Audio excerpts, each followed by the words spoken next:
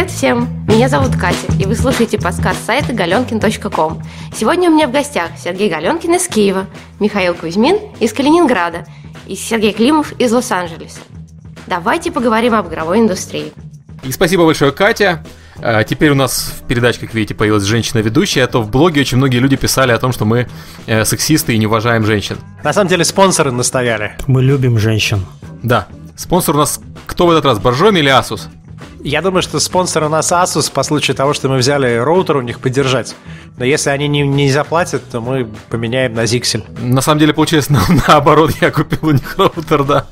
И теперь, пока они не заплатят денег, мы будем про них говорить гадости. А, ну, почему мы заговорили про сексизм? А, на неделе вышло первое видео Аниты Саркисян про гендерные стереотипы в играх, и оно уже собрало много-много положительных отзывов от э, вдумчивой, взвешенной мужской части игровой индустрии. Я вот сейчас смотрю, у нее полмиллиона просмотров уже. Да, и полмиллиона просмотров, у нее комментарии к видео отключены, но если погуглить, то там очень много таких комментариев про то, как она одевается, про ее глаза, про ее сережки, вот, и прочее. На самом деле тема интересная, то есть мне не очень нравится, что Анита Саркисян сделала меньше, чем могла бы, наверное, но это все равно лучше, чем, чем было до этого. То есть, по сути, она в своем первом видео экранизировала э, сайт TV Tropes, если кто не знает, сайт TV Trop собирает различные штампы из кино, и литературы и игровой индустрии. И она экранизировала раздел TV Tropes про женщин и игры. И это тоже на самом деле неплохо. Я бы вообще хотел сериал по TV Tropes, вот такой, чтобы 6 сезонов и фильм по итогам. Но она вообще молодец, выпустила видео 7 марта, фактически на Международный женский день. Я даже не уверен, что у них празднуют Международный женский день, хотя, наверное, как феминистка она должна про него знать. Ну, слушай, женщина с именем Анита Саркисян должна знать, что такое женский день. Сергей Климов, вот ты как самый бородатый участник подкаста, что ты считаешь про э, женщин в игровой индустрии и, в частности, про изображение женщин в играх? Я, по-моему, уже в прошлый раз на этой теме останавливался. Я считаю, что безусловно, стереотипы и, безусловно, проблема, на мой взгляд, в том, что большинство разработчиков, они преимущественно э, мужские команды. И у них в голове, в принципе, нету представления о том, э, как бы они хотели играть, э, при этом, если бы они были, например, там, девушками. Они делают все игры для себя. Это самый легкий ориентир, да? Мы хотим делать игры, в которые нам интересно играть самим. И вот они такие приходят небритые, э, потные в офис, садятся, открывают пакет с чипсами и говорят – ну, короче, я такой крутой чувак, вхожу, а там полураздетая принцесса. О, и, и, и так и все идет. К сожалению, я очень мало знаю женских команд разработчиков, кроме... Э, помните, как называется эта американская серия? Э, они в казуальные игры приехали успешно достаточно. Не помните? Не помню, я знаю, что в Максис очень много женщин. Я абсолютно согласен с Сергеем Климовым. Мне кажется, что решить проблему с изображением женщин в играх можно только привлекая женщин в игровую индустрию. Из недавних примеров есть такая игра Tomb Raider, в которой в роликах, который писала женщина-сценарист э, Риана Пратчет, дочка Пратчета, того самого, Получилось очень неплохо. Показана реально женщина, а не мужик с сиськами в юбке. А ты знаешь, кстати, на нее ругаются, что она очень плохо прописала второстепенных персонажей. То есть ты не получается сопереживать, если когда кто-то умирает, ну и хрен с ним.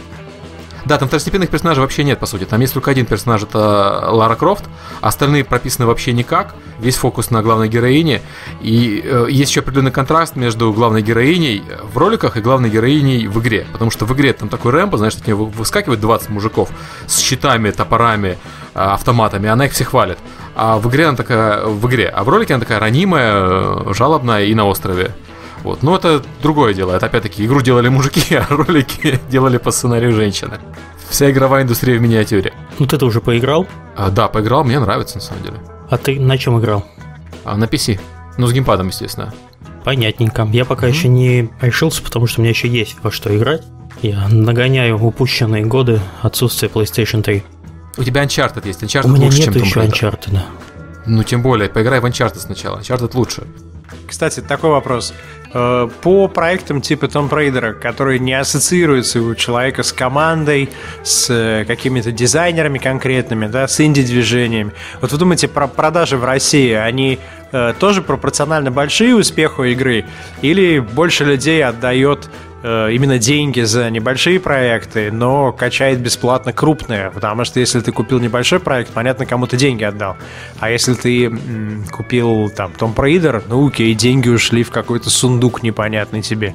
Я думаю, нет. Я думаю, вот по опыту работы в ритейле, что деньги в первую очередь платят большим э, крупным проектам. А в цифре? Я думаю, что даже с появлением цифр это не сильно изменилось. То есть понятно, что у того же Steam там большая доля инди-продаж.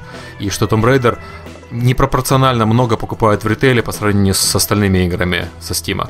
Но я думаю, что даже если учесть э, там долю цифры, да, где-то 50% э, рынка, если не больше, все равно у хитов больше продаж. Потому что хиты покупают и в ритейле, и в цифре, а инди только в цифре. Ну, я имел в виду данном случае процент. То есть, например, на каждого э, купившего второй Ведьмак приходится 7 скачавших, а на каждого купившего Том Raider приходится 14 скачавших. Что-нибудь такого плана. Потому что CD-проект это CD-проект, вот они такие душки, мы их любим, а Том Raider это анонимные там Crystal Dynamics, но мы не знаем имен. Нет? Мне кажется, что там пропорция примерно одинаковая про скачавших, купивших. У инди купивших чуть больше, потому что люди инди не качают даже, которые не знают, что это, что это такое. А те, кто знает, они скорее купят. Вот. А у хитовых проектов типа Ведьмака или Лары, я думаю, что нет какой-то отдельной пропорции. Они угу. примерно одинаковые. Понятно, понятно. А, следующая тема.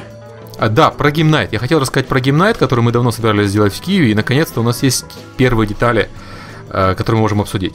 В этот раз мы хотим сделать гимнайт э, совместно с инкубатором стартапов East Labs. Э, я дам на него ссылку. Они сейчас привлекают игровые команды, дают им место, дают им инвестиции и помогают стартовать свои игровые проекты. То есть это именно инкубатор стартапов, а не стартап инкубаторов? Нет, это именно инкубатор стартапов. Там один из инвесторов это Пинчук, известный меценат украинский. Вообще они выглядят как хорошие ребята. По крайней мере, Пинчук достаточно известен своими арт-проектами и своей поддержкой искусства и э, различных э, технологических начинаний. Поэтому я надеюсь, что тут тоже будет что-то хорошее. Они помогают нам с местом. Мы будем проходить, скорее всего, э, в циферблате. Мы еще 100% нет подтверждения, но предварительно мы планируем провести мероприятие в циферблате 12 апреля в 6.30. Циферблат находится на Золотых воротах. Э, это центр Киева. Я думаю, что не должно быть ни у кого проблем с тем, чтобы туда добраться. Особенно если вы будете добираться из Москвы или из Питера. Мы, кстати, с Сергеем Клиум уже договорились. Снимем квартиру и устроим там притон игровой. Мы устроим там запись подкаста live. И потом придем с результатами такой записи на Game Night если мы вспомним про Game Night на момент окончания. Вообще приезжайте, приезжайте. Когда приезжала пресса, мы снижали, снимали как раз в соседнем с циферблатом здании квартиру трехэтажную, так что там есть где пожить, я думаю. Приезжайте. Ну, вообще, я хотел бы всех позвать.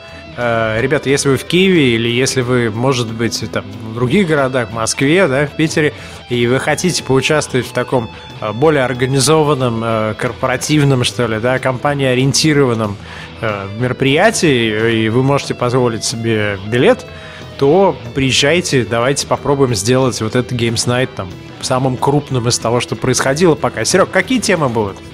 Основная тема, которую хотелось бы обсудить, это создание собственной компании с чего начать, как начать разрабатывать игры и, то есть, как попасть вообще в индустрию. То, что чаще всего спрашивают, на самом деле, у нас э, и в подкасте, и в жизни. Там я ВКонтакте получаю регулярно сообщения от людей. Ну, как, как попасть? Через койку самый легкий способ. Ну, как мы в подкаст попали? Через койку Климова, естественно.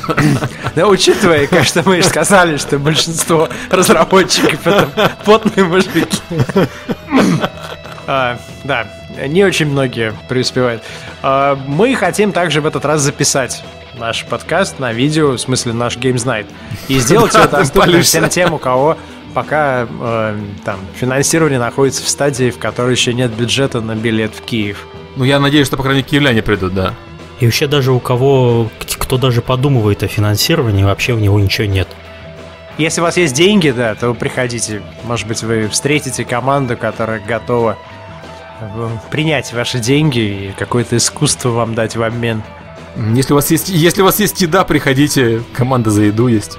У нас, у нас сегодня вообще должна была быть тема такая.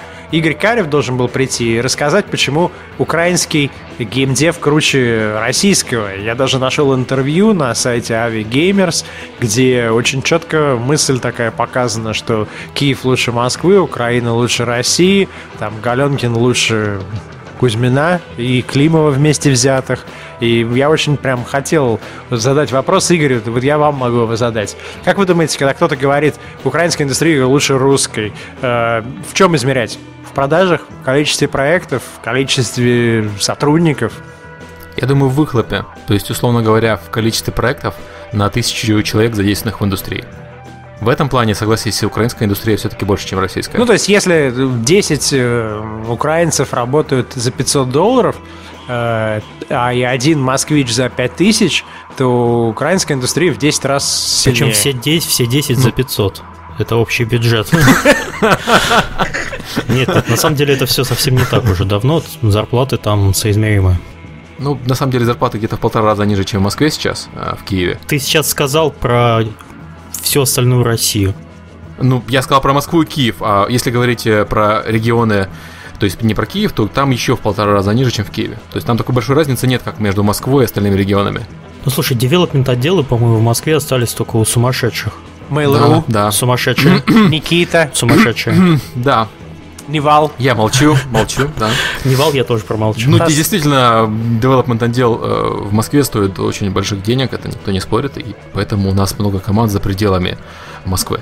Просто команда изначально московская, поэтому что делать? Руководить. Да. Я хотел сказать, что мы сейчас одну игру обсуждаем потенциально для продюсирования в Дедалике. Э, Команда из Аргентины, из Буэнос-Айреса. Я всем бы пожелал такой стоимости разработки. И она напрямую вытекает из стоимости жизни. То есть люди могут комфортно жить, там прекрасно кушать, развлекаться, ходить на концерты и вообще не страдать. И это стоит какие-то разы дешевле, чем в Москве и чем в Гамбурге, например. Посмотрим, как они работают, конечно. Ну, Вообще, так как пример, хорошо. Если бы я хотел куда-нибудь вложить миллион и построить новую студию, я бы, наверное, не вкладывал ни в России, ни там, в Киеве, пока, по крайней мере, Карев не переубедил нас. В Киев дорогой, да, проще все-таки открывать студию в Чернигове, Харькове, Донецке, Днепропетровске, на мой взгляд, А сейчас. не убьют там в Донецке твоего программиста? Типа, ехал Ну, я думаю, домой, нет. поругался и получил ножом. Тут, я думаю, не, вероятность не сильно выше, чем в Москве, например. Или в Америке. В Америке-то преступность выше, чем в Украине. Ну да, да, да. Ну, самый главный плюс открытия офиса Украины – девушки красивые. Вообще, Да. я, я считаю, Да. что надо выставлять против Киева Калининград. Понимаешь, в Калининграде России. нельзя, если это не Кузьмин, поэтому там сложно. Там дофига компаний же. Миш, ты можешь назвать компании из Калининграда так вот? А, и, и 10. так, чтобы не Кузьмин, чтобы не было в них Кузьмина. Ну, Кранкс, Там есть Кузьмин. Кранс, Херокрафт, Айгринд, Реалор, Интениум, Дейтериум. Ну, слушайте, ребят, Кранксу имел отношение Кузьмин, Кирокрафту имел отношение Кузьмин, Реалор имел отношение Кузьмин, Катаури имеет отношение Кузьмин. Ну, кстати, то же самое, что и про Киев. Там одни и те же люди просто занимают разные позиции. Ну, это правда, да. Индустрия маленькая, на самом деле. Это даже в Москве индустрия достаточно У нас маленькая. куча людей, про которых вообще... э, А, Calibre Games, хорошо, вот уже 8 насчитал. Э, Кто там еще у нас? Hexagon Games, э, кто еще? А сколько у вас? 600 тысяч где-то, да? 500-600? 500-600 да, тысяч э, в области. Кстати, у нас это... Мы уже раз подняли, у нас вопрос был на эту тему от слушателей. Я думаю, что надо рано или поздно, если мы успешно все проведем в Киеве, сделать Games Night в Калининграде и постараться сделать его каким-то более-менее глубоким. То есть, если мы в Киеве будем говорить про то, как сделать свою компанию игровую, то в Калининграде мы можем уже говорить про, например, там, кроссплатформенную разработку. Почему бы нет? Вот я нашел этот вопрос, ее задает Анатолий. Можно ли работать в игровой индустрии в Украине, не живя при этом в Киеве? Имею в виду над крупными проектами. Best way. На самом деле, мы вот мы, да, мы немножко посчитали перед э, подкастом. В принципе, э, критическая масса, ну, тут зависит э, от количества людей, проживающих в городе и наличия высших учебных за- заведений, поставляющих э, кадры. То есть, в принципе, есть шанс, что на 50 тысяч человек есть одна команда разработчиков игр. Вот примерно так. 50 тысяч это такое количество очень оптимистическое, но Северодонецк, где находится Best там 100 тысяч человек живет. Значит, у них две команды разработки. Возможно, в Луганске на 500 тысяч человек, я знаю, 4 команды разработчиков. Вау. Э, Ну, то есть... э, Слушай, да. мы вывели формулу. Мы Вполне вывели реально. формулу с некоторой погрешностью, что вот как бы если в вашем городе 50 тысяч, смело открывайте, люди найдутся единомышленники. Но при этом это не относится к э, городам-сателлитам. То есть, например, мне кажется, если ты в Обнинске, то люди будут все равно стремиться в Москву, потому что они будут идти работать в Mail.ru за там, 15 тысяч долларов после налогов в месяц, и никакими красотами Обнинска ты их не заманишь обратно. На Украине, по крайней мере, такое возможно. Я знаю успешные команды в Чернигове, знаю успешные команды в Хмельницком, которые живут в небольших городах, получают серьезные по меркам даже киевской, по киевским деньги и отлично себя чувствуют. Слушайте, давайте перейдем к следующей теме. Мы хотели сделать возможным прослушивание подкаста только если ты подсоединен к серверу нашему. Да, да. да. Такая система, кстати, работает уже. Просто мы сейчас выкладываем ссылку на скачивание подкаста, а, наверное, это неправильно. Мы хотим, чтобы наш сервер тоже падал, как падает сервера у Electronic Arts при запуске. Вообще не солидно. Ты, ты запускаешь свой подкаст и заходишь, если нет сервер крэша, означает, ты не популярен. Ну, кстати, вот ты знаешь, когда я выкладываю подкаст, и в первые где-то полчаса прослушивать очень сложно именно в онлайне, потому что начинает подквакивать, да, да кэшируется, потому что очень много народу качает сразу. Так что мы идем к успеху. Там, к сожалению, на сервере 100 мегабитный канал, он, в принципе, для нормального, для нормальной нагрузки хватает там 5-10 мегабит.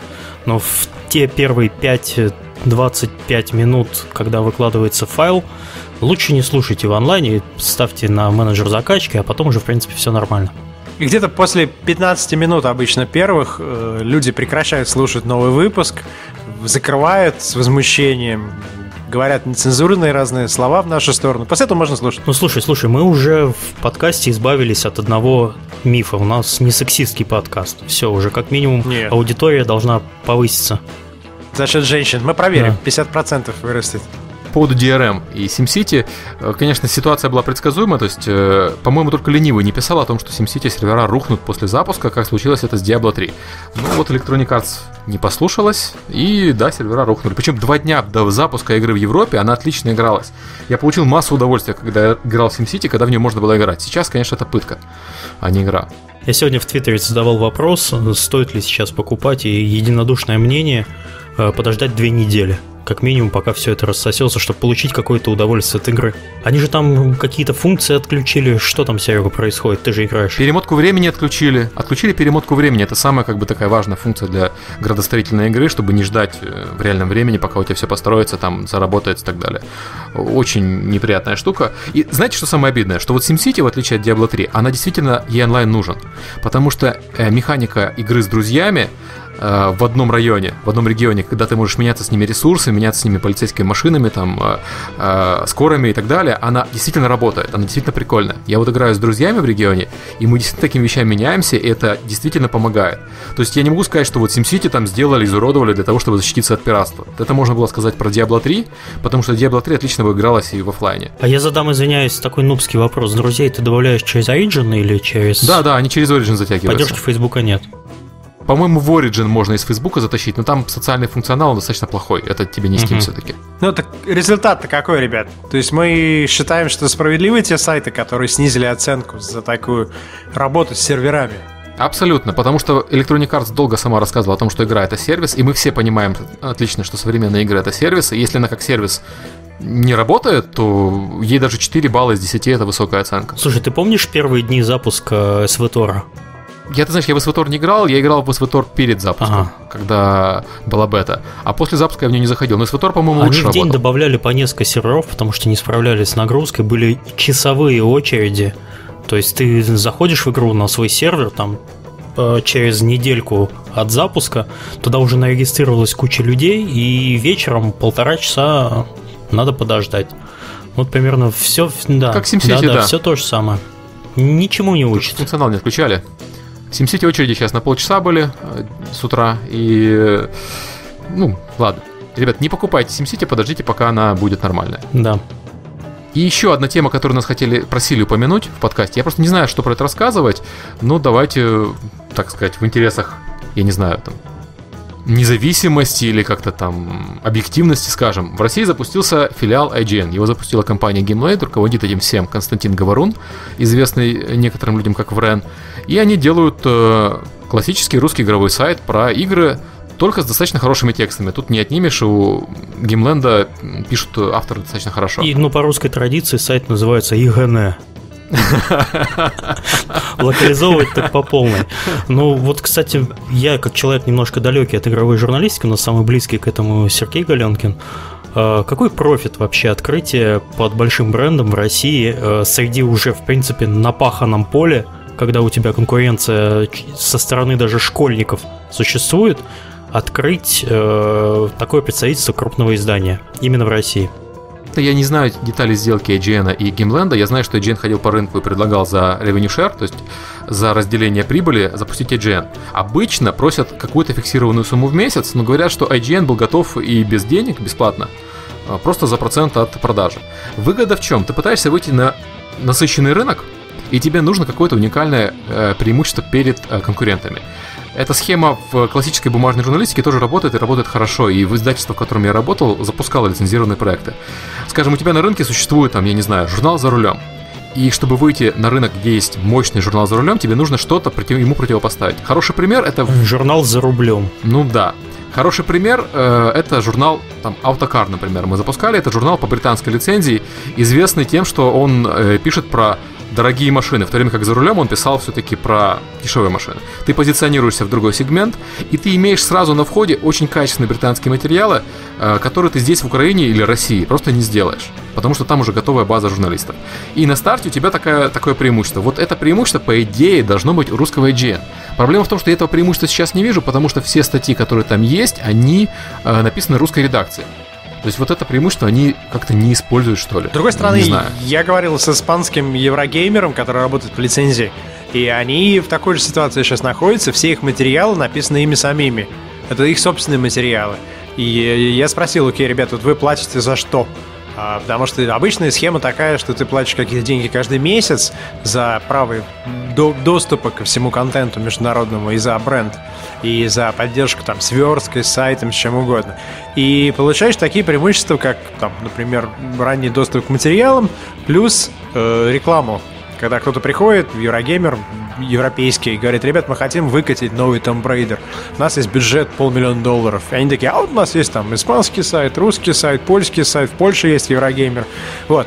Но испанцы сказали, что они не пользуются материалами оригинальными, потому что они пишут сами. И реально они делают для того просто, чтобы участвовать в глобальных рекламных кампаниях, и потому что есть такой вот бренд, э, есть верстка, каждый раз, когда что-то меняется на основном сайте, это меняется и у них, и они вполне довольны, они очень сильно растут. Это правильная абсолютно позиция. Рецензии всегда все равно пишет локальная команда. И более того, через год после запуска проекта по лицензии ты приходишь к ситуации, когда у тебя только 20% материалов, они лицензированы, а 80% делает своя редакция. Но на старте это позволяет сильно экономить деньги, запускаться на рынке с большим преимуществом перед конкурентами. Ну, то есть представь себе, у тебя э, проект, который стоит ноль, потому что, как я уже сказал, вы делаете его по схеме revenue share, но при этом на тебя работает 30-50 высококлассных британских журналистов, британских, американских. Это большое преимущество перед конкурентами.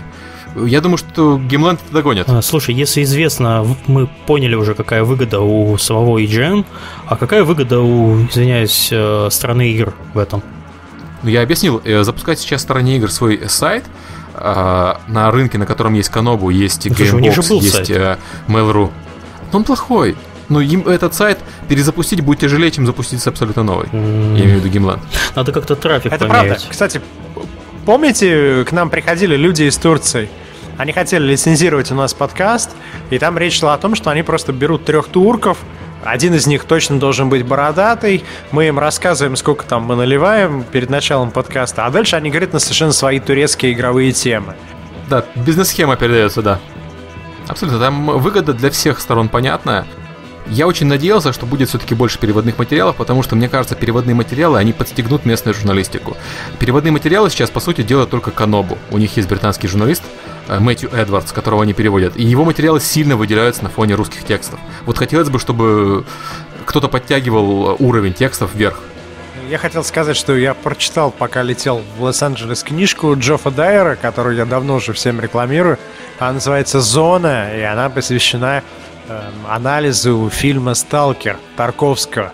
И э, британский современный писатель проявляет там такое знание и понимание других там, русских фильмов, литературы русскоязычной и так далее, по сравнению с которым большинство журналистики, по крайней мере, там, современной, да, оно как-то вот где-то там в стороне находится далеко. Я после этого открыл пару русских журналов, которые там лежали в самолете, я не смог их даже читать. И мне кажется, что вот помимо там доступа к материалам, да, и все остальное, если ты можешь за счет лицензии перенять еще и там стиль, подход, да, уровень какой-то, ну, наверное, это может тебя вытащить из, из общего такого среднего уровня людей, которые пишут простыми фразами и во многом повторяют друг друга. Ты знаешь, вот когда мы лицензировали э, издание э, журнала у британского партнера, они проводили э, такую нам поддержку. Они позв... по... приглашали наших главных редакторов в Британию, проводили обучение и вообще всячески сове... помогали. Это Market был. Давайте к следующей теме, наверное. У нас тут любимая тема Сергея Климова э, парад кикстартеров. На отчетной неделе случилось два больших кикстартера. Это Torment Tides of Numenera, который считается идейным продолжателем Planescape Torment от Брайана Фарга. И второй это Shroud of the Avatar Forsaken Virtues от э, Лорда Бритиша, который э, Ричард Герриот. Я про них написал уже в блоге, могу вкратце сказать, что, на мой взгляд, запускать Kickstarter, пока ты не сделал предыдущий Kickstarter, это не очень красиво. Я имею в виду Wasteland 2 Брайана Фарга. И второе, Лорд Бритиш в прошлом году отсудил 32 миллиона долларов у компании NCSoft, а сейчас он собирает миллион долларов у фанатов на создание игры. Мне кажется, это как-то ну, слушай, потратился мужик. Что еще можно сказать? Ну, ну, безусловно, есть такая точка зрения, что э, Kickstarter — это средство найти деньги для тех команд, которых нет других возможностей.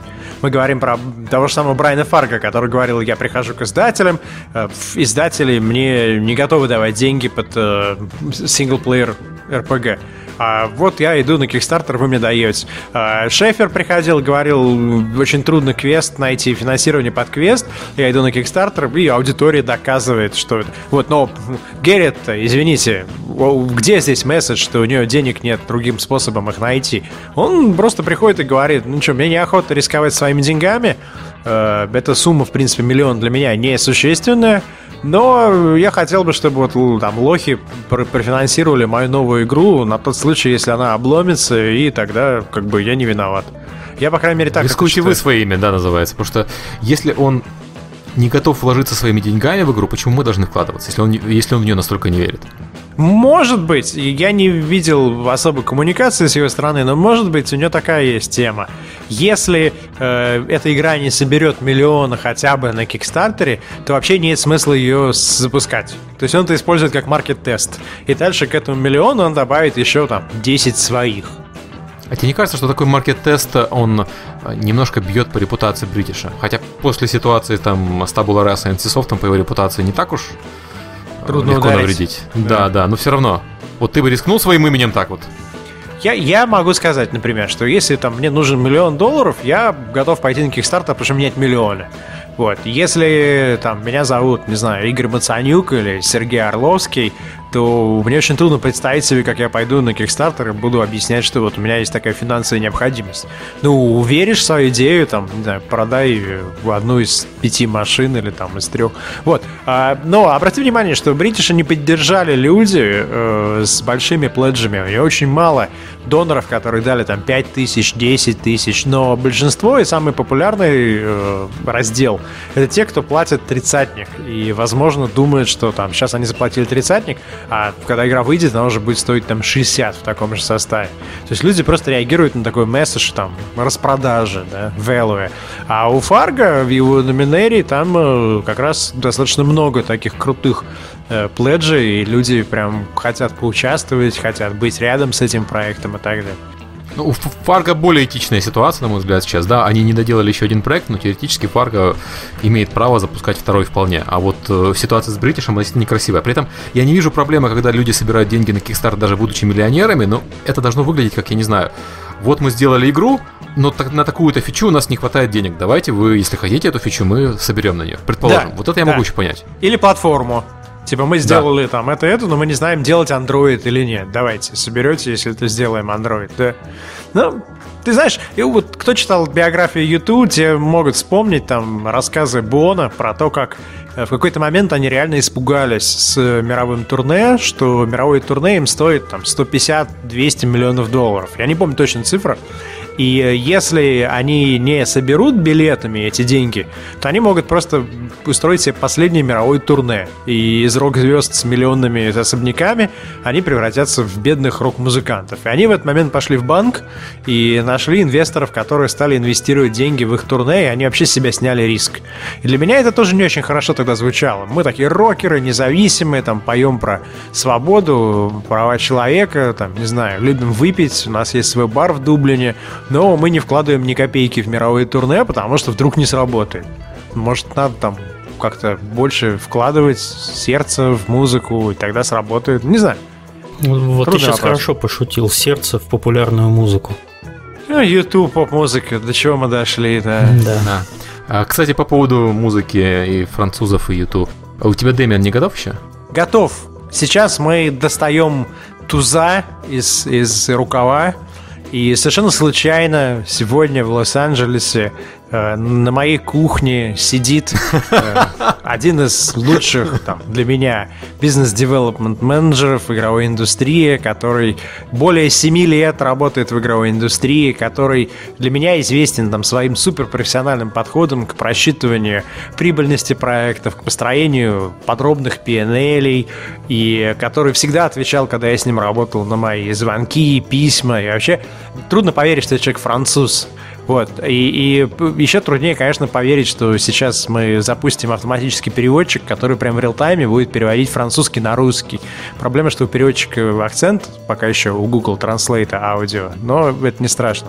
А, и человека зовут Дэмиен, э, Дэмиен Маурик, и он был бизнес-девелопмент директором в Фокусе, Э, кто знает, Focus Home Interactive, там, Sherlock Holmes и Blood Bowl, э, Pro Cycling, такие очень как-то exciting projects, вот. Ну, еще, конечно, Wargame и, и Runaway, и The Next Big Thing и так далее. И мы сейчас хотим э, с ним немножко поговорить. Он клевый, чё? Я даже, как это, сейчас не стесняюсь это сказать, хотя он меня слышал. А он все равно не понимает по-русски, когда я быстро говорю. понятно. Здрасте. Привет. Здравствуйте, Дэмин. Привет, очень приятно. Собственно, что мы хотели узнать, это то, как выглядит э, русская, украинская, русскоговорящая игровая индустрия со стороны, вот с точки зрения издателя. По-моему, мы, э, мы, я думаю, что э, русской индустрии и украинской индустрии у вас есть только очень мало хорошие студии.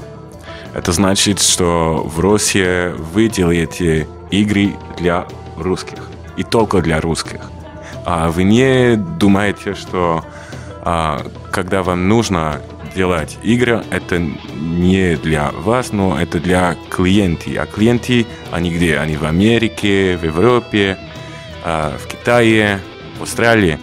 И что, что русских не uh, understand. Не понимают. Не понимают, это, это есть разные культуры. А когда делаете игры, вам нужно подумать об этом. А, это значит, окей, мой игра это а, кто будет купить мой игра, окей? Как продавать эта игра? Это стиль, а, стиль, а, геймплей. Это для, это для кого, окей? И всегда, когда я, я, я, я видел русские игры, по-моему, это было, о, это для, для них, это не, не для нас, это не для клиентов во Франции, в, в Америке.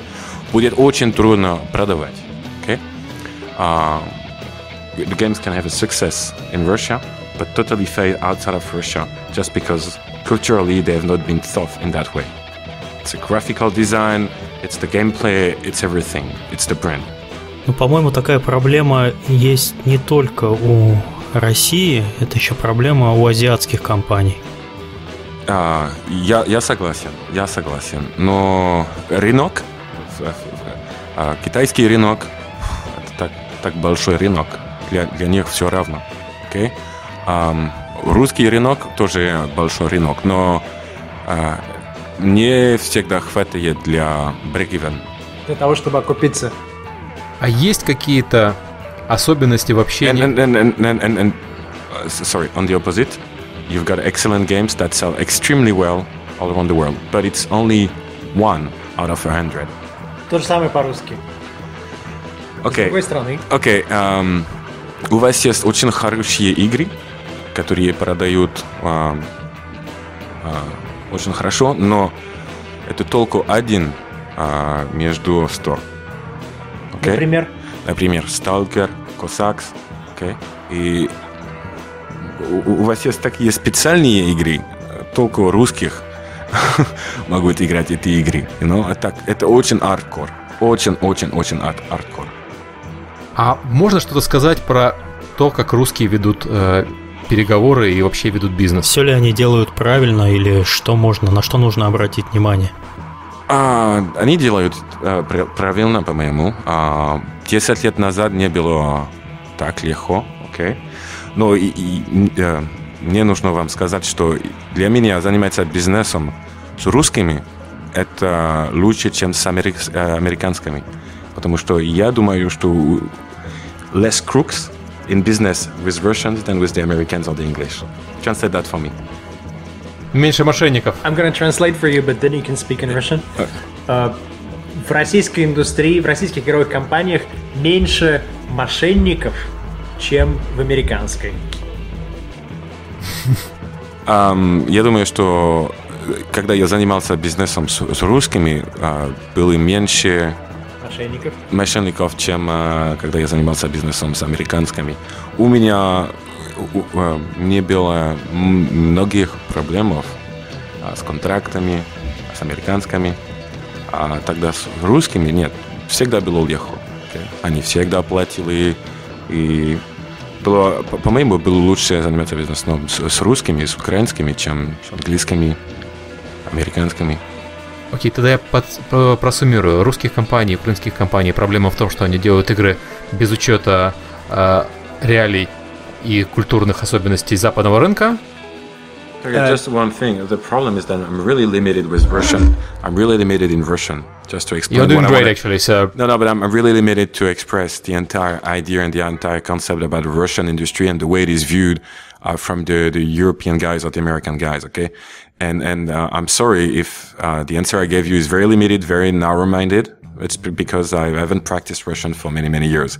But Uh, re- it's to- it's totally you- you- reasonable. You, you, you said that we need to understand uh, Russia, uh, uh, that there are other cultures uh, besides Russian that we were gonna sell be selling our games outside Russia, and you said that there is less less crooks in Russia. Those are two great things to say about Russians, actually. No, no, but uh, the, the, the reality is that when I was dealing and signing contracts with the Russians, I had no problems with them getting paid or, you know, and while it's never been the case with the Americans, the English and, and the Dutch, you know, who are literally screwing you. And, and the reason why I think the, the Russians try to do decent business, especially with uh, companies that tend to have a certain size, it's uh, because at some point, if you screw someone once, I mean, you're never going to do business again, okay?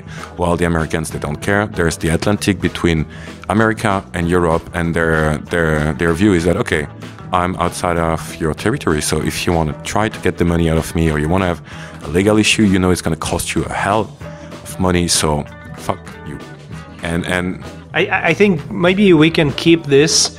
We can keep this at the end of the podcast, and we can say, you know, if you want to hear more from Damien, then just scroll back to the end of the podcast and then. No, no, no. I will thing. stay it right here because it's really great. I think our auditory should study English better. Okay. Yeah, and, so it's, and, uh, and, and regarding the, the, the, the game content, the only thing is that you're you're doing great games in general. Uh, the Russian developers they are they're mastering the technology. They're good engineers. Usually, you have great looking games with a super 3D engine. Um, the, the problem is that games most of the times tend to be super hardcore for uh, a Russian audience without understanding what the other cultures and the other countries want. You know, further you go west, okay, and especially when you want to go to America, you you need to deliver a game which is very similar to junk food. And the problem when uh, the Russian designers are making games, they are thinking about okay, let's make it super super hardcore, you know, and let's try to be even more hardcore than what is hardcore.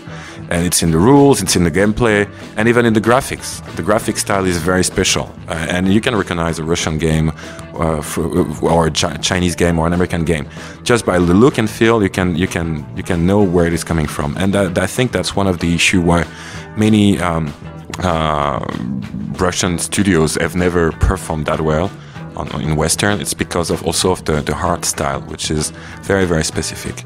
And and because I've been pitched many many many games from Russian studios, Ukrainian studios, and that was my feeling. You know, how to commercialize, how to sell those games, those products in in, in, in Europe or in America, when you clearly have uh, uh, a Russian feeling with the game, uh, and it's it's it's in the gameplay, it's the, the the look and feel, it's in the art style and and uh, I've always been surprised to see that the Russian publishers they um, they, they always invested a lot of money in in developing games in Russia, while for the amount spent working with the Russian studios, they could have hired English teams or French teams or American teams and actually produce games that have uh, um, uh, worldwide appeal.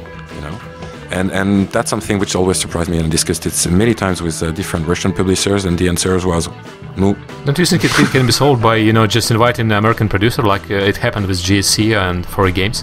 Where they have this Dean Sharp from uh, United States, I guess, okay, with yeah, yeah. Uh, overseeing product, and they had a good success with uh, Stalker and had a huge success with Metro uh, yes. in Europe. Yeah, Maybe but because it's, it's, a, you're right. You're totally right. They did a great job, but I think at some point when THQ signed the games, um, it's it's it's very very difficult to to to to manage a team uh, like GSC. The guys they've been extremely successful with the Cossack series, uh, and and when you come with a project like Stalker, you've got plenty of ideas. You need at some point to put uh, someone to manage the team with um, and and give you know that that that specific look and feel. Uh, that you need to, to go outside of your, your local market. And, and that's the reason why THQ sent a, producer to GSC. I don't think that initially GSC was happy to get a producer. I mean, yeah, they, were, they weren't. yeah. I, I, I, won't say any bad thing about Grigor, uh, um, Grigorovich, but this guy is very talented. I mean, he, he, he, made his money, he made success in the industry, but uh, when you when you get that success, it's difficult to accept someone outside from your company to basically lead the development somehow, you know, and tell you this is how you have to do, this is how you your characters look like, this is how you should complete that level, because you think it's great at the moment, but think about your customers that are outside of your territory who do not play and and think the same way as you. Uh, so yeah, they've been successful in part uh, partly because of that, uh, but also because they were talented. But it's only one out of 100. I mean, there are which which companies are uh, Russian companies have been successful? Uh, maybe Nival. Uh, yeah, of course. Um, we don't have American producers uh, overseeing games, but we have like a really strong uh, feeling about what we need to do to appeal to American and European gamers. That's always the motto because we, we want to be, you know, uh, seen as an international company, not just a Russian company. We, of course, we have this Russian feel to our games because, yes. well, we are Russians, but we, we don't want to limit uh, our games by Russian market. But you're not Russians. Come on, you're Ukrainians. Uh, yeah, I'm Ukrainian. Myself personally, I'm Ukrainian. and and uh, no, but you're right, and and uh, that's the what is happening. What I just described is not exclusive to the to the Russians. I mean, it's also happening in other territories. You know, they don't understand that uh, we're all culturally different, and um, it's uh, it's it's very specific to Europe and, and a large Europe where you've got more than 30 countries living together, and it's a united market. It's let's say uh, official Europe. It's 27 countries, 27 different culture, 20 different way of consuming games and playing games and understanding games, and it's very very difficult to make a, a game that will appeal to that very very large audience. So um, the way to do it is basically to go abroad and learn from the other teams and see what is successful in the other territories, so you can adapt your content and try to maximize the. Um, the, the, the, the, revenue on that project. But I'm, I'm speaking from a business uh, point of view. Okay, I'm not speaking about the creation itself and the appeal of making a game that that will very please to the to, to the team and etc. Um, я, я, я хотел здесь второй вопрос поднять, и, возможно, мы сможем вернуться к э, твоему прекрасному русскому языку, э, что крайне редко в игровой индустрии встречается, когда кто-либо за пределами русскоязычного сегмента может способен говорить по-русски. Э, что бы ты сказал по поводу студий, начинающих свой новый проект? Они должны слушать себя. Э, я делаю игру для себя. Я делаю игру, в которую я хочу играть. И тогда я буду успешен. Либо э, все-таки какое-то планирование должно быть, какой-то анализ, какой-то бюджет. Люди должны иметь представление, кто купит их игру и сколько надо продать где, чтобы окупиться? It's gonna be complicated to do a detailed answer in Russian. Я думаю. А, я думаю, что... Спасибо, Сергей. Спасибо большое. Я, мне нужно ходить в туалет. Можешь помогать?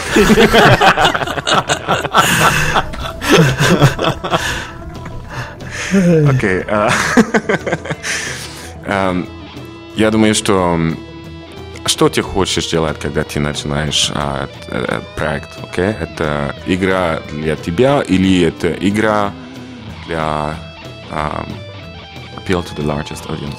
Для большой аудитории. Для большой аудитории, окей? Ам, если, если это для себя, делай все, что ты хочешь. Но это- тогда это не важно думать, окей, о чем маркетинг, кто будет купить, какой платформ, а, а, какой геймплей, окей. Э, Это, это не важно. Делай все, что ты хочешь. И если, если может быть, это будет а, э, хит, окей, это не всегда а, так. Я, я- Аманита, для моему это хорошие студии. Они делали по Ботаникула и, и такие игры. Это, это, это как OVNI, UFO, UFO, НЛО. aliens, you know, UFO. It means that Неопознанный летающий объект. Yes, it's like in the in the in the market, it's like UFO. You know, you don't see it coming from anywhere. There's no specific style. It's not a copy of any other games. They just wanted to make the game they wanted to. Okay, and they've been lucky because it's a success. Okay, uh, other games, you have to think in advance what you want to do. You know, okay, what's my goal? What type of game I want to do? What are the the, the, the, the, the the games that performed extremely well? Okay, now let's try to a recipe that will help me to at least make a success with my new project.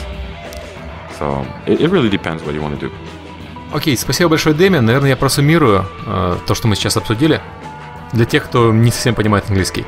Во-первых, вам нужно учитывать, э, что ваша игра будет выходить за пределами России и, соответственно, делать ее с учетом интересов, вкусов э, и ожиданий аудитории за пределами России. Во-вторых, россияне хорошие люди, потому что среди них меньше мошенников, по крайней мере, в игровой индустрии, чем среди, например, американцев или голландцев. И в-третьих, вы не обязаны думать о западной аудитории и вообще аудитории, когда делаете игру для себя. Но если вы делаете игру для аудитории, естественно, стоит о ней задуматься. Да. Спасибо тебе Спасибо. большое. Спасибо большое. Большое спасибо. Большое спасибо. Я бы хотел добавить, что если бы я попал в такую же ситуацию, и ко мне подошел Сергей Климов и сказал говорить на том языке, на котором я говорю плохо, скажем там на китайском, я бы его послал. А Дэмиан э, согласился и поучаствовал. Это замечательно. Черт, так ты что, на следующий подкаст не приходишь? Окей, спасибо большое. Спасибо. Спасибо всем гостям, особенно Дэмиану. А теперь давайте перейдем к вопросам. Да, давайте к вопросам. У нас мы их собрали в последние 15 минут перед записью, когда выяснилось, что, что к нам не придет в гости Игорь Каев, но тем не менее, собрали. Первый вопрос задает его Whiter Geo. Как влияет женский день на продажи, если практика проводить в эти дни акции? Я могу сказать по нашему опыту, мы не делали акцию, мы делали в Prime World э, просто э, подарок, там пуму выдавали с э, бантиком для девочек. У нас был рекорд по посещаемости, но игра еще растет, поэтому у нас рекорды по посещаемости, они там регулярные, раз в неделю получаются. Вот, и очевидно рекорд был не потому, что 8 марта, а потому что выходной. Мне кажется, что для игр э, подарки на 8 марта имеет смысл делать только в том случае, если у вас большая аудитория женская. Иначе эффекта финансового никакого не будет. Ну да, если вы не в курсе, то э, в играх, и в том числе в основном в онлайн-играх, э, женская аудитория, она не, не столь многочисленна, как мужская. Но одна женщина в игре способна сгенерировать десятки, если не сотни продаж, потому что они требуют ухаживания. И мужское население будет покупать какие-то предметы и дарить его виртуально девушкам. Для этого функционал подарков должен быть, естественно. Да, но если у вас, конечно, все сделано правильно, то вы должны сделать вот так вот. А на самом деле, э, если обобщить, то любая распродажа, любая распродажа и какая-нибудь акция поднимает э, доход э, в разы, если не в десятки раз. То есть этим надо заниматься на регулярной основе и что-то такое придумывать постоянно, как-то э, работать с аудиторией. Тут могу только подтвердить, это правда. Помните, меня в свое время этому научил, об этом мне рассказал э, Дима Мартынов из 1С Club. Он рассказывал про разные решения для розницы. И он говорил про то, что не обязательно, например, там люди разные пробовали планы магазинов. Там входишь ты, например, слева у тебя там все игры про файтинги, а справа у тебя все рейсинги. Или, например, ты входишь, там написано слева только Electronic Arts, а это инди-игры. То есть ты можешь как угодно группировать, но исторически успешным примером является пример, когда магазины делают тематические какие-то вещи. Например, ты ходишь, там написано э, все игры, в которых ты играешь за женского персонажа. А на следующей неделе ты приходишь, там написано 10 лет Crystal Dynamics. Все игры Crystal Dynamics. То есть ты должен давать какой-то повод аудитории, чтобы она о чем-то подумала, что-то вспомнила. И в этом плане 8 марта шикарный повод. Там вспомнить о квестах, там мы когда вот обсуждали в Твиттере, да, есть совершенно четко какие-то игры, в которых э, женская аудитория зашкаливает. Может быть, 60%, 70%. Мы это видим ну, со стороны Дедалика по э, Дипонии. То, что э, Дипония там имеет сильно больше женский процент аудитории, чем другие игры Дедалика. И было бы просто грешно не использовать этот повод. И я удивлен был, что российские цифровые площадки, я вот ни одной не нашел, когда 8 марта проверял, никто не потрудился сделать какой-то special happening именно на этот день. Хотя могли бы, не знаю, там дать 20% off и возможность отправить игру в подарок какой-нибудь своей знакомой с красивой открыткой или там даже анонимно, да, я захожу, плачу там 250 рублей, ввожу адрес, и девушка получает, о, привет, вас поздравили, там, так Никто, все, все не напрягались. А на самом деле упущенная возможность. И дальше следующий вопрос. Игорь Мосягин спрашивает, сколько в процентах адекватных программистов надо, чтобы российская команда научилась вести нормально бизнес. Тут я хочу заметить, что тут два вопроса на самом деле. Во-первых, все программисты должны быть адекватными, а во-вторых, они не имеют отношения к бизнесу. Да, сколько программистов нужно, чтобы закрутить лампочку? Примерно так. На самом деле ноль, потому что программисты не должны заниматься бизнес-девелопментом. Точнее, если хорошо, если какой-то из программистов э, проявляет интерес к бездеву, снимайте с него обязанности программиста, ставьте его на бездев. Все. То есть на самом деле 0% нужно адекватных программистов, чтобы российская команда научилась вести нормальный бизнес. Кирилл Феб спрашивает, чем вы занимаетесь во время записи подкаста. Мы вас не слышим, а, мы вас слышим, но не видим. Может, есть какие-то традиции уже? Насколько я знаю, мы пьем. Да, я пью в основном виски. Немножко. У меня сейчас разрыв шаблона, потому что у меня сейчас 10 утра в Лос-Анджелесе. А ты уже пьешь? Мне очень хочется продолжить традицию, но я не понимаю, как я дальше буду целый день за рулем. Не, ну у меня боржоми на самом деле. А еще есть у меня одна традиция, которая на самом деле не во время подкаста, а после подкаста. Пока я жду, пока мне пришлют все дорожки, я успеваю принять душ. Смывает себя грязь индустрии. После общения да. с Галенкиным обычно хочется помыться. Да, после общения с, эти, с двумя Сергеями мне хочется смыть все плохое. Следующий вопрос задает Максим Олейник. Знаете ли вы удачные примеры сочетания двух и более профессий в игровой индустрии? Талантливый человек талантлив во всем – да. Я могу сказать, что мы приглашали э, Галанина, который в одиночку сделал игру, он хороший программист и хороший художник. Э, мне кажется, что очень часто случается ситуация, когда хороший программист и хороший бизнесмен, хороший художник, хороший бизнесмен. Это обычно руководитель студии или руководитель отдела. Там хороший программист, хороший управленец. Ну, в принципе, в Аманите художник Якоб. А что он делает помимо художника? То есть он руководит еще студией? Он управляет всей студией. То есть он вообще, в принципе, Аманита это в первую очередь Якоб, в плане бездева, в плане вообще всего. Принятие решений, какие проекты делать, продюсировать. Их там 7 человек, и у них каждый по, по мере возможности помогает в различных этих аспектах, но у них нет ни одного человека, который занимался бы только бизнесом. То есть для меня Аманит это пример творческого коллектива, где нет ни одного человека, который не создавал, который не причастен был бы к участию, к созданию проекта. Я в этом плане, например, там, не знаю, я могу дать какой-то фидбэк, могу что-то потестировать, могу там какие-то идеи предложить, но я не могу ни нарисовать, ни напрограммировать, программировать, ничего не сделать. То есть, получается, можно сочетать в себе управленческие качества и какую-то работу. Но по моему опыту лично, если человек э, помимо своей основной задачи, там, программирования или чем-то, занимается э, каким-нибудь руководством, то это очень сильно страдает. Потому что человек ни, ни тому, ни тому не может уделить полностью время. Следующий вопрос задает э, Макс под ником Ластау. Вы можете его помнить по картинке к нашему подкасту про PlayStation 4. Вот почему русская игросфера носится с консолями словно Хрущев с кукурузой? Это за заговор маркетологов? Да. Все, маркетологи сказали да, поэтому это заговор. Ну, на самом деле, первыми, насколько я знаю, э, из подкастов, как минимум, кто начал пропагандировать консоли, это был, была «Адовая кухня». И они делали это очень правильно. К нам вот в прошлый раз приходил э, в подкаст Ярополк, и он рассказывал про то, что зачем они все это делали. А сейчас повышенный интерес, ну, наверное, потому что рынок вырос. Даже я вон себе консоль купил. Я же говорю, заговор. Да, заговор. То есть маркетолог купил себе консоль. Все, и поэтому начинает всем ее советовать. Я не знаю, как тебе сказать. Компании консольные, они, э, безусловно, там сильные, э, хорошо организованные. Они могут справиться с глобальными какими-то мероприятиями по запуску проектов масштаба, которые редко когда встречаешь вообще на PC. И в ситуации, где PC-рынок, он как-то переживает очень странную трансформацию, к цифровой дистрибуции, вроде как розница сдохла, а цифра еще и не так прям возместила пропавшие продажи. Остается только обратить внимание на что? Кто остался? Консольные компании. Они как продолжали запускать там крупные проекты, новые игры на серию, так они и продолжают, пока PC-индустрия там находится в каком-то непонятном состоянии. Во фри Ну, я думаю, что как только да, да, да, да. Free-to-play тоже, видишь, как вот SimCity оценили, взяли, снизили оценку за сервера. Правильно сделали? Правильно. А можно было представить 5 лет назад, что оценку игре будут в реал-тайме менять. Да нет, конечно, люди бы сказали, о, вы продажные журналюги, вы должны были там сделать единственную финальную оценку в момент выхода продукта и все.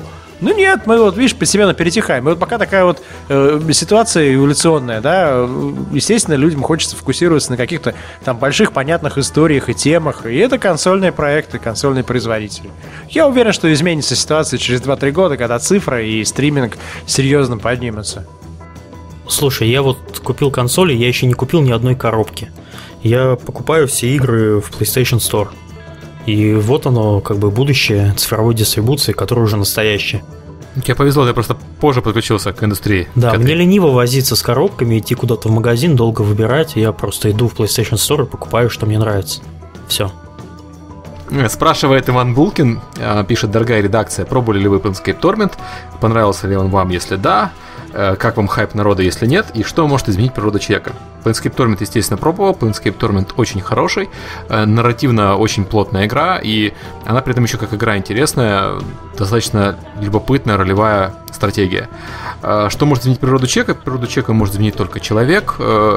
Игры, кино, музыка и прочие вещи могут только там стимулировать его к- желанию вообще меняться. Сами по себе игры не изменят. Знаете, чтобы съесть такого, чтобы похудеть. Примерно то же самое с играми. Все должно исходить, инициативы должны исходить от человека. Николай Сачок э, спрашивает, привлекаете ли вы фрилансеров? Если да, то на какие работы? Как отбираете кандидатуру и как взаимодействуете? Если нет, то почему? Могу рассказать про наш опыт. Мы привлекаем фрилансеров сильно по арту, особенно по промо-арту. И тут опыт положительный. Отбираем, естественно, по примерам работ. А, Были, был опыт, э, когда мы брали даже геймдизайнеров на аутсорсе. И э, по-моему, программистов. Опыт негативный, потому что такие люди на аутсорсе получаются очень плохо. То есть они сами по себе талантливые люди, но они должны быть сильно плотно интегрированы в команду, в отличие от э, художников. И, а, да, музыканты еще, музыкант хорошо Да, мы, работает на по-моему, это уже обсуждали как-то в каком-то подкасте, в одном из первых. Да, да, да. Но если, если люди не слушали, переслушивайте все наши выпуски. Рекомендую. Мы все уже давным-давно обсудили. Скоро уже начнем брать вопросы с потолка. Андрей Рутюнян. Это опять же наша калининградская мафия из компании Calibre Games. А, Обсудите, как молодым командам из РФ СНГ участвовать в GDC и вообще про техническую часть участия. Например, за- зачем снимать номер в отеле напротив выставки и как туда заманивать журналистов. Про это, наверное, Сергей Климов нам расскажет. Ну, я, я, я могу сказать, что исторически я достаточно редко регистрируюсь на GDC, а обычно, когда я был издателем, чисто издателем без своей студии, мне хватало вполне того, что я приезжал в Сан-Франциско, назначал встречи в районе Москон-центра, и там где-то и со всеми встречался в течение двух-трех дней и работал. Сейчас, когда мы э, начали заниматься разработкой, когда я начал, да, когда я прикоснулся к Дедалику, у нас есть свои пять проектов, которые нам нужно продавать и показывать прессе, мы к этому подошли более серьезно. Мы думали, снимать ли нам стенд или снимать э, номер в гостинице. Это некая традиция э, многолетняя, то, что многие студии, многие компании, в частности азиатские компании, они снимают большой, то, что называется суит, то есть двухкомнатный номер э, для презентаций в двух гостиницах, либо W, либо Intercontinental. Э, цены в это время, естественно, взлетают. Мы платим 700, э, чуть-чуть меньше 700 долларов за сутки за этот номер. Там, может быть, 60 квадратных метров, стоит большая плазма, и вот есть одна комната, в которой нет никаких кроватей, есть там только машинка для кофе, огромный телек и куча кресел. И э, для журналистов это вполне хороший формат выйти из GDC, пройти там, 500 метров по улице, подняться в Intercontinental и у нас провести час, рассматривая разные игры, общаясь с людьми. Плюсы в том, что у нас тихо, спокойно, ничто не отвлекает журналиста от того, чтобы пообщаться с разработчиками, посмотреть на игру. А, минусы, да, там 500 метров надо идти. Но GDC так раскидано по нескольким зданиям, поэтому я не думаю, что это прям такой какой-то недостаток. А, мы платим вот суммарно за этот номер 3700 за неделю. А, был вариант э, снять на выставке прямо такой cubicle, ну, там, мы бы заплатили где-то десятку, 12, может быть, тысяч долларов. Для тех, кто не в курсе, Cubicle это, по-моему, 2 на 2 примерно стандартный. Ну, там 4 на 5 а, 4 на 5. Типа 20 метров. Но мы, мы тогда стояли рядом с да, э, Valve, э, Riot, э, EA, Activision. Но проблема выставки GDC, да, выставочной части, состоит в том, что э, обычно все эти компании, они просто нанимают сотрудников. Да, про рекрутинг вообще. То есть, если вы маленькая компания, вам, наверное, не надо в Америке никого да, нанимать. Да, да. И в результате мы сейчас в трех ипостасях на GDC. Мы э, купили стенд, стол на Game Connection, который проходит в э, отеле, опять-таки, рядом с GDC. Мы э, имеем небольшой кусочек немецкого павильона, потому что в Германии индустрия там более интегрированная в государственные программы, чем э, в России. И в Германии есть ассоциация игровая, которая вот устраивает такие большие э, как бы площадки, общие павильоны, в которых студия может получить за символически там несколько сотен евро э, возможность поучаствовать. Да, я такое постоянно вижу на всяких выставках. Корейские стенды, Эстония, Литва вот была на, в Барселоне, и на остальных все то же самое. Это действительно очень выгодно. Когда ты приходишь, видишь все, в принципе, чем занимается эта страна. Ну, в данном случае даже есть какое-то спонсорство со стороны государства, да, немецкого. Но основные деньги и вообще вся эта организация, организационная работа, это все сделано именно ассоциацией. И там представлены все основные участники. Если ты участник этой ассоциации, ты можешь там за смешные деньги туда приехать и там поучаствовать. Эта же ассоциация принадлежит, кстати, Gamescom. То есть вот деньги, заработанные mm-hmm. на Gamescom, в том числе идут вот в такие проекты, да, чтобы купить большой павильон страны там, для этой ассоциации. То есть это как раз для меня был бы шикарный пример, как организовывать ассоциации в России и Украине. Если бы мы хотели, э, чтобы студии наши могли за там, небольшие деньги поучаствовать, быть представленными на основных индустриальных мероприятиях, вот надо так делать. Там, по-хорошему, там, эта же ассоциация должна заниматься и управлением какой-то большой выставки и зарабатывать на этой выставке деньги. Да. В Украине был такой опыт, только не в игровой индустрии, а в IT-индустрии. На Цебете брали э, стенд для украинской IT-индустрии. И опыт был на самом деле достаточно положительный, пока не пришло государство не стало делать то же самое, и потом все развалилось. Ну, как обычно, сам знаешь, там это ресурсоемкость, mm-hmm. там откаты емкости и так далее. Ну вот, если бы мы хотели сделать пример по немецкой индустрии, мы бы сделали ассоциацию с э, там, 200 участниками от мелких казуальных студий до Mail.ru. Э, эта ассоциация сделала бы выставку Игромир 2.0, Э, и она была бы основной коммерческой выставкой для консумеров на нашей территории. Там, сделал бы ее, не знаю, Игромир 2.0 Москва, Игромир 2.0 Киев. И дальше эта ассоциация все деньги заработанные инвестировала бы вот в такие проекты. Там, русский павильон, там, русско-украинский, да, на GDC, там, на E3, на Gamescom, там, проведение GDC России, наконец-таки, там, GDC Киев, на самом деле, может, удобнее было бы, не знаю. Ну вот, в общем, короче, такой опыт у нас. Мы чисто финансово выбрали лучший отель, чем э, место на выставке. Я не знаю, я расскажу вам по результатам, было это правильное решение или нет. Прессы международной крайне мало на GDC. Я получил сейчас список, в этом списке из, э, может быть, там тысячи позиций, ну, 150 это Европа. Из Британии, из сей 6 человек. Из России там вообще только одна девушка, которая работает, по-моему, в казуальном издательстве. То есть, мне кажется, она не журналистка. И, и все. Вот, там из Испании, не знаю, 4 человека, из Бразилии 6 человек. Вот. Ну а все остальное это американская пресса. И мы надеемся на то, что мы получим очень неплохое покрытие. Э, мы работаем с пирогентством американским э, над этим проектом. Вот. Э, мы надеемся на неплохое покрытие в то, что называется масс-медиа американским. Посмотрим. Что, не знаю. Мы вот 8 человек везем, продюсеров проектов, мы везем билды. Пресса отказывается приходить, если им не дают hands И пресса отказывается приходить, если у тебя игра не выходит в этом году. Это тоже там, важное изменение. Да, да, я, я тоже это заметил. Они э, после скандала с превью, они все очень боятся делать превью, не имея возможности попробовать игру. И если они там Electronic Arts такие претензии не высказывают, компаниям поменьше, да, высказывают. Мы тоже по себе это заметили. Нам проще, у нас уже есть что пощупать. Поэтому мы выдаем версию э, игрокам американцев э, и прессе. Ребята, если вы э, нормально воспринимаете подкасты, где наши гости говорят по-английски, то вы, пожалуйста, обозначьте это в комментариях к этому подкасту, и мы постараемся такие вещи делать чаще. Вот сейчас там в Лос-Анджелесе я могу доехать до Брайана Фарго, и мы можем с ним сесть и сделать подкаст. Но понятное дело, что Брайан там ни слова не знает по-русски. Если, если вам там это интересно, вот, то да. Но мы при этом не хотим заворачиваться на перевод какой-то, если только не возникнет внезапно переводчик-синхронист, готовый к нам присоединиться. Вот, если вы такой переводчик, ну, напишите нам, может быть, действительно интересная идея. Тогда, да, это может сработать. Потому что, по идее, мы можем добраться до любого практически участника игровой индустрии и сделать с ним подкаст, как с гостем. Но вот, если он не русскоязычный, то тогда мы просто будем оставлять английские, наверное, ответы его. Я даже могу, наверное, голосование сделать в подкасте, чтобы люди выбирали, готовы они слушать на английском языке или не готовы. Вот там предлагают сделать перевод как DLC и продавать его. Угу, да, и титры за деньги. Позови Дэмиана попрощаться. Мне очень понравилось, как он говорит по-русски. Хорошо, я думаю, что он сейчас вот за время этого подкаста сказал больше русских слов, чем за последние 12 месяцев. Он русский язык учил 17 лет назад, когда он приезжал, по-моему, в город Воронеж или в Тверь на практику в течение года. Это вообще отдельная тема. Вы можете представить, что такое практика в 90-е годы э, француза в, в российском регионе, где за ним бегала мафия. Там. И, в общем, у меня свои истории есть. Окей, наверное, спасибо на этом. Всем спасибо, кто послушал, всем спасибо, кто смог пересидеть фрагмент на английском языке, и надеюсь, что в будущем у нас будет не хуже. Пока. Пока. Пока.